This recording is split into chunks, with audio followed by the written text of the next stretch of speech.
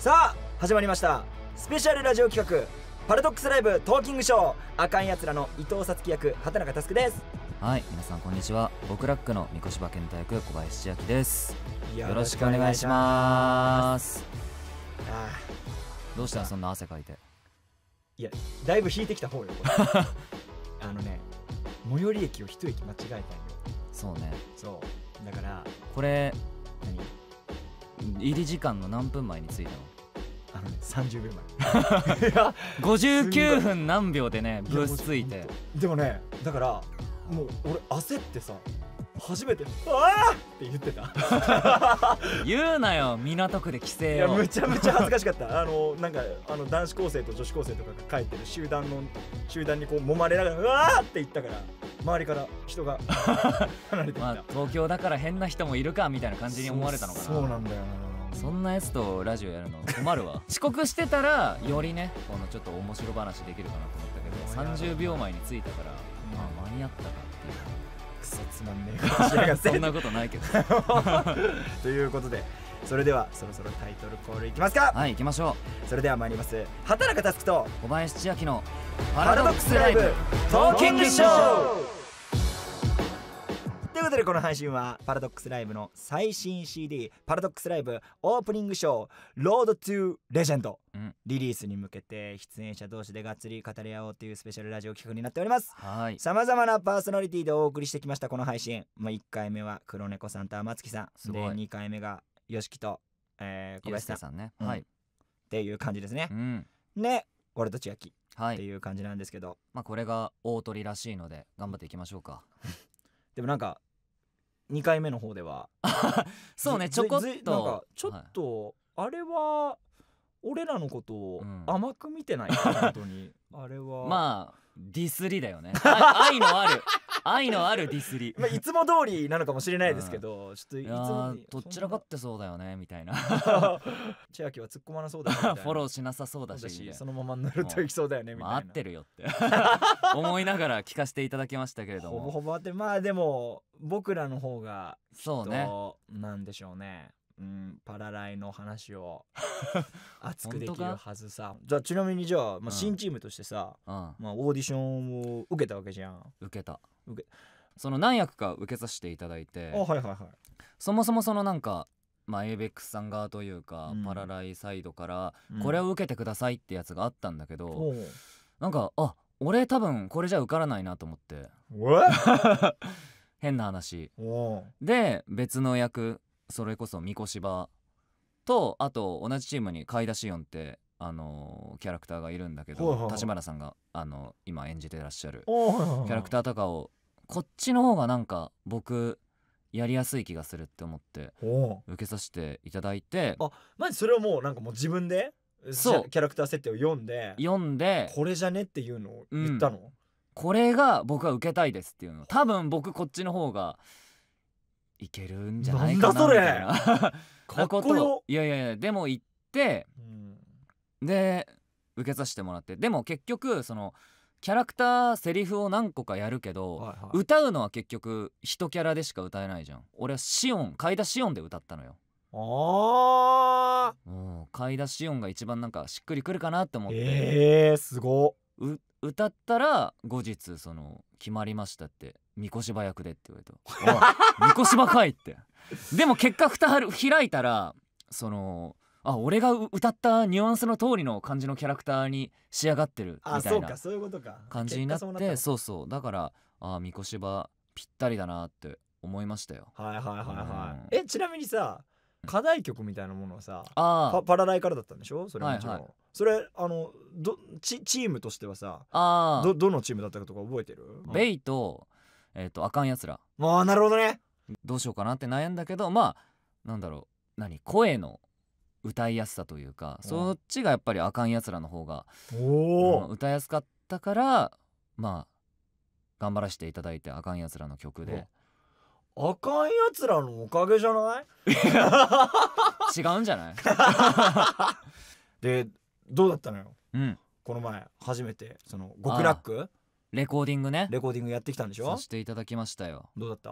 もうめちゃくちゃ楽しかったねレコーディング。えー、なななんかラップの方が肌に合うというか、うんかもしれないぐらい。マジか。なんかラップってさその曲ももちろんそのリズムもすごい大事だけど、はいはいはい。なんかそのセリフっぽさもあるというかあーね、うん。確かに確かに。その音の中でどれだけいろんな言葉を詰められるかもそうだけどそうそうそうそうなんかその僕らもさセリフをさうん。言うニュアンスとかをさ結局気持ちで変えてるけど耳で耳というか声でさ音で変えてるわけじゃん。そうね。なんかそれに近いなっていうのもあってだからその俺の思うみこしばの歌い方もあるけど、うん。そのディレクターさんがもっとこうしたらどうなるとかこうディスカッションしながら作っていくのがもうすいごい楽しかったね。へえ、うん。なんかすごいなんか最初さそういう最初のレコーディングの話とかだとやっぱみんな結構難しかった、苦戦したみたいな話とかむっちゃ聞いたんだけど。まあもちろんその曲の難しさっていうのはあったけど、うん、でもそれ以上に楽しさの方が勝つかもしれないかな。すげえないいね、うん。だからそういう意味では結構僕の肌に合ってるのかなって思ってるので、へえもうぜひぜひあの新曲というか僕らのねうん。曲を皆さんにも聴いていただきたいですね。そのみこしばのさ、うん。PV 撮りみたいなのもあってえ？そのあのキャラクターごとにあるじゃん。そその紹介 PV みたいなの。はいはいでその時にうん。その早口なのよ。みこしばが、そうだね。もうだから俺が思ってた想定以上に早口を要求されてうん。うん言えたけどでもこれをラップでするってなったら多分無理だなと思いながらやってたから。むちゃむちゃマイナス思考だ。だから、うん。だからそのレベルがこ今後出てきたらはいはいはい。ちょっと分かんない。あもう聞いちゃってるよ今スタッフさん。やったろうって思っちゃってるよ多分。いや困ります。いやいやいやいや真顔で言うな本当に。頑張りますのでよはいろしくお願いします,、ます。じゃあちょっとここで一曲聴いてもらいましょう。はい。3月30日発売の CD パラドックスライブオープニングショー「ロードトゥレジェンド」より、えー現在ミュージックビデオも公開中の新曲「あかんやつら」で「ターンイップ」「あかんソウルフィーバー」です。どうぞ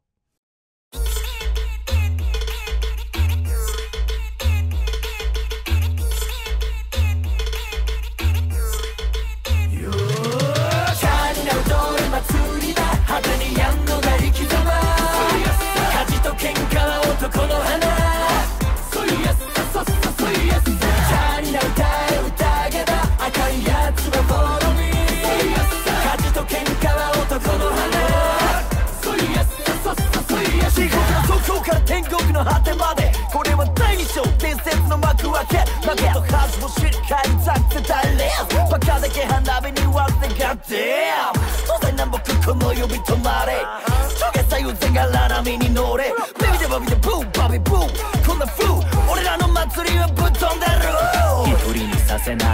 ないやつ。おいで一緒に盛り上がろう。朝か夜かわかんない。くらい。ビカビカに光って目立っちゃう。わバラバラな個性が釣り混ざり。ものの見事に一つの熱い魂へ。みこし好きの担ぎたがり。派手にかます。あやつの祭り林チャーになるどれ祭りだ。派手にやんのが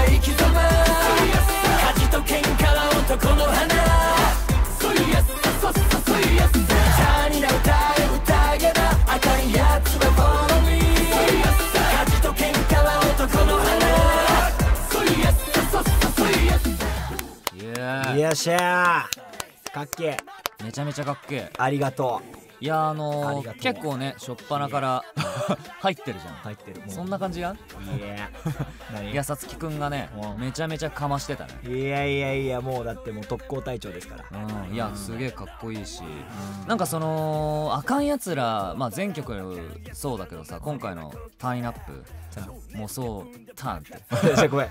おう前なずき方がもごめん。ははいって言おうとしたのにチャーンって言っちゃった。やばい。うやばすぎだろ。やばい。あの脊髄で反応しちゃった。いやでもその、うん。まあこのターンアップはなんか「そういやさ」とかさあーはいはいはい。なんかその日本語でこのラップのこのニュアンスというかうがその五感というかすげえ心地いいこのラインがねめちゃくちゃいいなって思っいやていやいやなんかあもの横文字もさうん。めちゃめちゃやっぱハマるじゃん。う止まるね。ねラップに関してすごく。でもこういうなんか日本テイストにこう攻めてくるのがねあかんやつらっぽくてすげえ好きだなってやっぱ思っちゃうね毎回、もうねこのラップの中でうん、一番俺が自信持って言えたことはもうソイやすさです。あそうなんだやっぱ。もうもうもう,、えー。もうソイやすさやってる時がもう一番なんかもうホワイトアウトするぐらいん気合い入れてやった。ソイやすさそっさソイやすさそれライブ大丈夫バターンってなっちゃうそれ喉は飛ぶかもしれないいやでもそうそうでもその気持ちが多分俺にも伝わったぐらい普通に家で YouTube でね、MV 見させていただいてて、ついついソイでそううわやっぱここすげえわっていうのでやっぱ耳にの 耳に残るし嬉しいね。その赤いやつらっぽいぽさそう。残っててすごいかっこいいなと思った。ああいうやつらのラップはね。なんかすごいんだよね。なんかもうなんて言えばいいの？結構このガガラガラ声ももうそのままやっちゃえみたいな感じだから。うんいやうん。うん、あの鬼のようにね喉が枯れる。じゃあもう。でそその喉削ったぜみたいな気合はねあ入るのやっぱ楽曲に。あなるほどね。それがやっぱ俺はちょっとたま,、うん。たまらなく。それゆえに多分魂がこもってていやーこれあはあかんやつらファンのねみんなは好きなんだろうな。まあそれ以外で言えば僕まあブライカンとかもね。ブライ感はまさあ、これはずるいよね。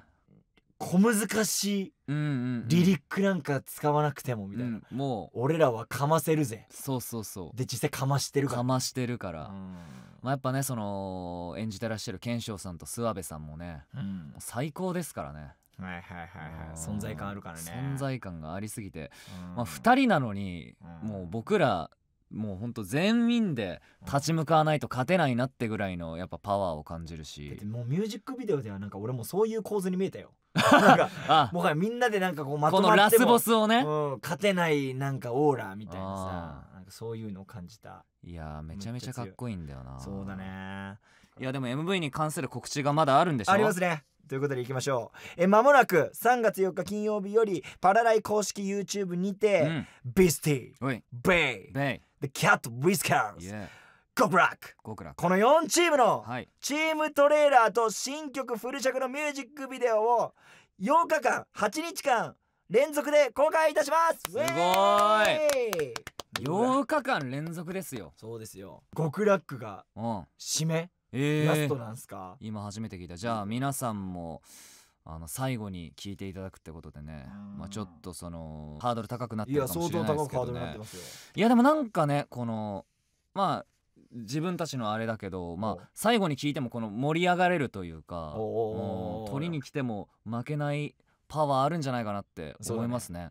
うん。いや間違いなく。あのね全然あかんやつらと違う方向性のパワーを感じるとそう思います。そうそうそう。うん、それが怖い なんかね治安の悪さ的にはねいやーもう本当に。結構すごいんだけどお互いに。いやだからここのバトルを早くやりたいのよ。なんかもう結構バチバチになりそうなので。ねそのドラマ CD の収録とかもねすごい楽しみですよね。そうですね、ううん。ん、ということでちょっとぜひぜひねミュージックビデオの方楽しみに待っていてください、よろしくお願いします。お願いします。さて、うん。ここでリスナーの皆さんからメッセージいただいておりますのでそちら。紹介していきましょうか。はい。はい今回の、うん。えっ、とですねテーマなんですけど、はい。我々二人に話してほしい話題ということでメッセージを送ってもらいました。ありがとうございます。よっしゃ、はい。じゃあちょっと紹介していこうか。はい。じゃあこれいきますか、えー、いきます。えー、お二人は自分の演じるキャラもしくはパラライのキャラの中で自分と似てるなと思うキャラクターはいますか？あーなるわかるかなこれでまあでもそうね。ほ、ど、うん、え自分が演じるキャラで自分と似てるなは結構ありますよあ本当ですそれかはそうですよ。さつきくんど例えば、なんか中学生みたいな思考。うん。そうまずそこなんだ。まずそこだね。うん。あとはもうガガサツさとかはいはいはい。まあまあ確かに。うん。うん聞いててもうわぴったりって俺も もおい引いた？うわぴったりってなんかちょっともう引くぐらいのレベル。ういやもう引くレベルで合ってるってこと。もうタスクに当て書きじゃんぐらい。いやそんなそれは言い過ぎ。そこ俺そあいつそこまでじゃない。さっきほどではないとは俺も自負したいけれどあもーでも僕も三越芝まあ三越芝結構そのインドアでっていうところはまあ似てるかもしれないけどまあでも煽ったりはしないからね。そのまあクソガキ感は多少あるかもしれないけど。あ 何？え日常生活の中で人をあんなに煽ったりしない？煽ったりしない。当たり前のこと言うな本当に。でも意外と彼ね15歳なんですよ、結構キッズなのよ。キッズだね。そう。あだ15歳っぽいの？らしいの？なんかあーでもそのらしさも結構その出てきたりするからーだ。からそそのなんかめちゃめちゃ天才で頭切れるけど、うん。その15歳で生意気っていうところに多分ギャップがあったりするんだけどなるほどね。でもやっぱり自分の15歳を思い出してもあんな煽ってはなかったね。ね、だからあもう煽んな、まあ、まあ確かに15歳みんな煽るわけじゃないしまあ煽んないとは思うけれどうんまあでもそこに似てんのね。そうね。とかはあるけど、はいはいはい。まあそれくらいかな。さすがにやっぱねキャラクターのね。今のところお前インドアしか多分言ってないぞ多分。インドアでぐらいのことしか多分聞いてないぞ多分。でもまあ口もすごい悪いのよ。ああ口悪いのか。口そんな全然悪くないよ、うそんな多分めちゃくちゃ悪くはないから。悪くない全然悪くない。うん。まあだからインドアなところかな。パッとしねえな。うん。次行きますか。次行こうじゃあ。はい今回の新曲を聴いてますますパラライの沼に引き込まれてしまいました。最高です。ですがラップのレベルもとても上がってきており練習も大変だと思います、はい。では質問させていただきます。歌を歌う時それぞれ気をつけていること意識していることはありますか？あまあこれはどうなのタスク？もう歌歌いまくってるけど。あのーそうだね。まあパラライの収録赤いやつらの収録に関しては、うん。まあ最初にこうやるじゃん？うん。やってあのなんかこう頭痛がしなかったらうん。あのもう一回ちょっともうちょっと頭痛がしなかったら？上げてくださいって言われるのそうディレクションで。でうわーって上げるのなんかちょっと頭痛いぐらいになってくるの。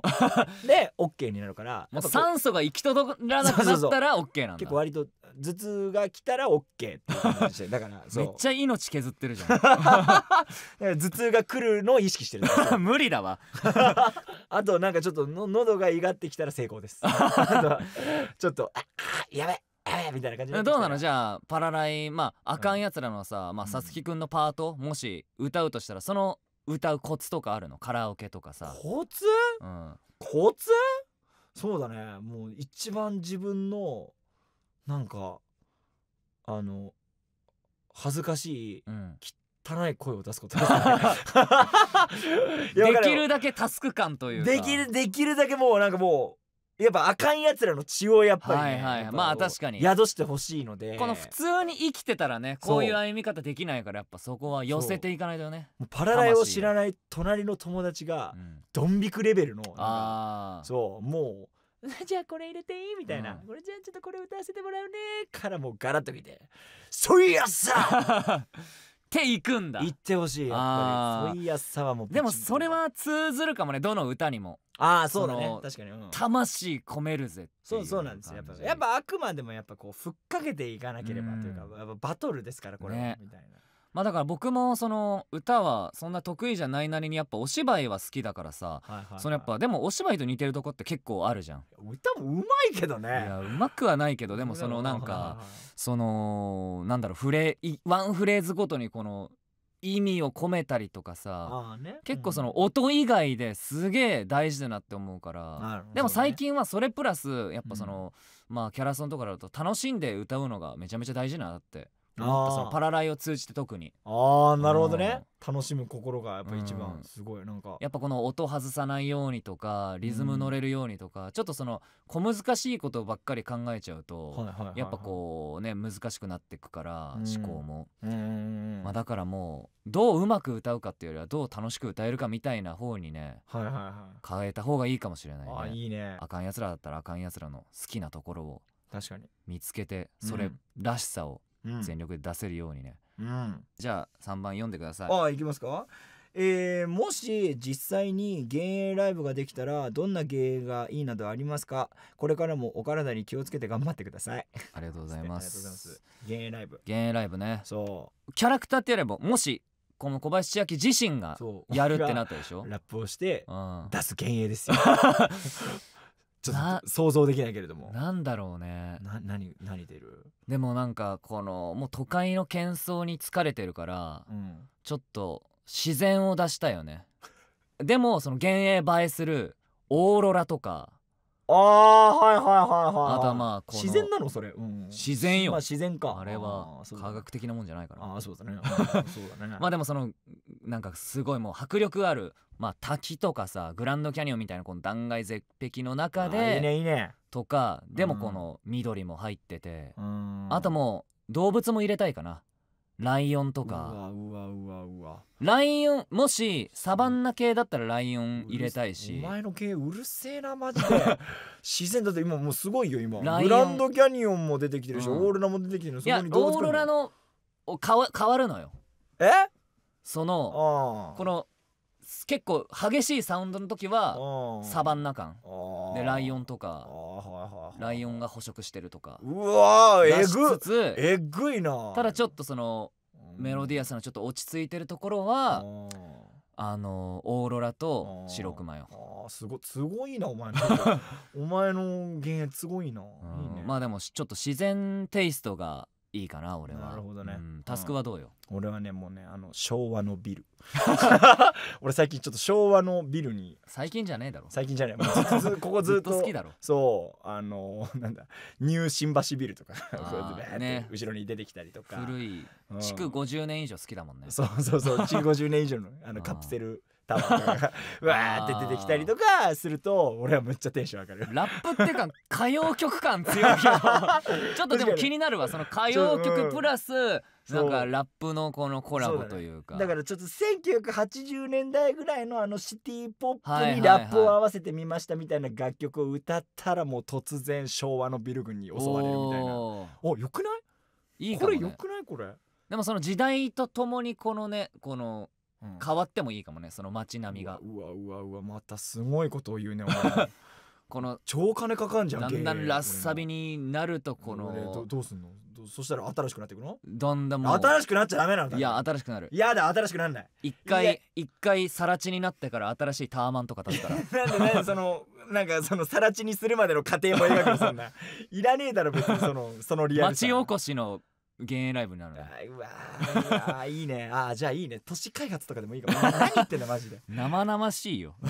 はい、というわけであっという間ですがはい。そろそろお別れのお時間じゃないですか、ということでちょっと一番大事なコーナーいくよ、告知コーナーです、はい噛まないでください。えー改めてですがパラライの最新 CD「パラドックスライブオープニングショーロードトゥレジェンドが」えー3月30日に発売となります。全9チームの新曲に加えて大ボリュームのボイスドラマを収録、うん。さらに5月28日にパシフィコ横浜で開催が決定したセカンドリアルライブの最速特別抽選先行受付シリアルも封入されています。ぜひチェックしてみてください。そしてグッズ情報です。3月9日より、えーブライカンの書き下ろしグッズが登場します。おネット予約が間に合わなかった方もアニメートほかアニメショップの店頭でお買い求めください。はい。さらにさらにもう一つお知らせがアンフォークナーのアパレルブランド SWANK のインスタグラムアカウントが立ち上がりました。ね SWANK ではジャージ T シャツバケットハットなど展開予定とのこと。ぜひフォローしてくださいねアカウント！どこの FM ラジオ聞いて育ったの？このアンフォークナーのね。ブランド出るんだね。いやめちゃめちゃおしゃれだけどさ。これさ本当にでもキャラグッズとかじゃなくて超ガチのおしゃれグッズですからね。そうなんだよね。うん。まあ確かにもうアンはむちゃむちゃおしゃれだからうん。確かにアンの服着たくなるもんね。なる。ていうかさパラライのキャラデータ全部さおしゃれすぎるからさそうなんだよな。なんかもう全部なんかねブランド出してほしいぐらいだけど、ね、いやほんとほんと着たいもんね実際ね。なんか普通に実際に街に溶け込むっていうかこのなんか、まあ、キャラクターによってはねあのあれだけど 確かにねキャラクターによってはそうちょっはあるかもしとれないけど目立つなーっていう人はいるし俺まあうちのね犬飼さんとかだとねちょっとああのさすがに 確かに私ね服にはならないけど、まあ攻めてはいますけれども。おまあでもインメイトの服とか着たら絶対モあテね。ほんとモテそうまあベイとかもそうだけどさ。かっこいいよね。うん。はいということでどうでした？今回のラジオはいやすごい楽しかったですよ。楽しかったです。ねでもそのパラライのこの、なんだろうこういうラジオとか特番とかみたいなのに出させていただくのは、まあ、これが初めてなので、まあ、初めてこの自分の口からこのパラライのこととかニコシバのこととか話せる場があったので、まあ、すごくなんだろう新鮮というか嬉しかったですね、うん。ようやく話せたみたいな。そうですね。はい。ちょっと盛り上げていきましょう一緒に、はい。よろしくお願いしますということでそれでは3月4日からパラライ公式 YouTube でスタートする8日間連続投稿こちらお楽しみにごい後半4チームのミュージックビデオが続々解禁になります。チャンネル登録もお忘れなく。またパラライ公式 Twitter では、えー僕たちのサイン入りパラライグッズが当たるキャンペーンも実施中なのでそちらもチェックしてください、というわけでお相手は僕畑中佑と小林千秋でした。バイバイ